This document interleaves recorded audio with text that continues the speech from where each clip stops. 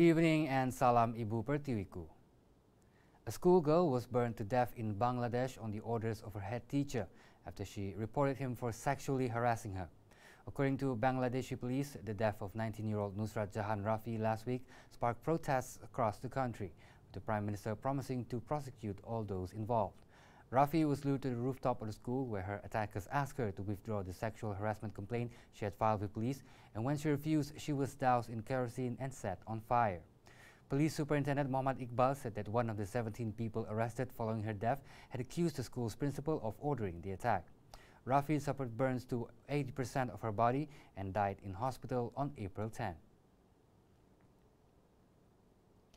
Facebook said in a press release that it had been storing passwords of millions of Instagram users in a readable format. Instagram is owned by Facebook after its purchase in April 2012. The statement by Facebook said they discovered additional logs of Instagram passwords being stored in a readable format and that they will be notifying the affected users. It added that the stored passwords were not internally abused or improperly accessed.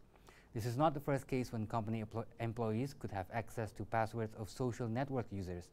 In late March, Facebook said it had been storing passwords of hundreds of millions of users in plain text format, making them accessible to the company's employees who had internal access to the system.